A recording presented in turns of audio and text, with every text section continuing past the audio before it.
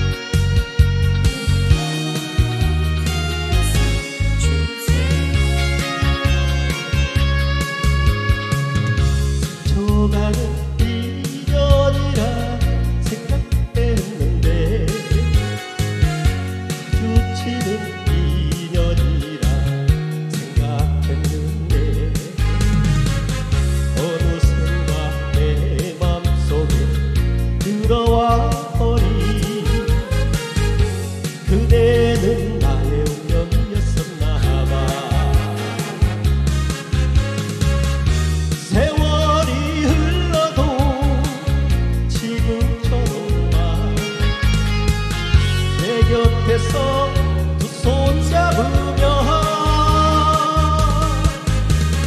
화려하지 않아도 돼요 부끄럽지 않아도 돼요